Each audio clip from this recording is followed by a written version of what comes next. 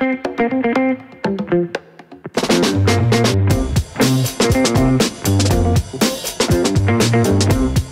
name is Khurram Virani, and I'm the head of education at Lighthouse Labs. Thank you so much for celebrating five years with us. Speaking of five years, you know what happens in five years? You get a whole university degree, and then you go and find a job. You know what happens five years when you take Lighthouse Labs? You work for five years and you make good money.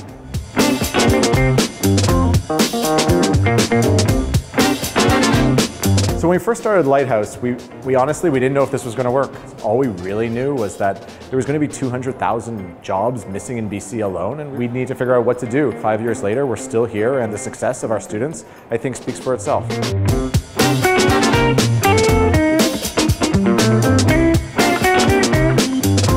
Style of people we have makes this company as human centric and people oriented as anything I've ever been part of.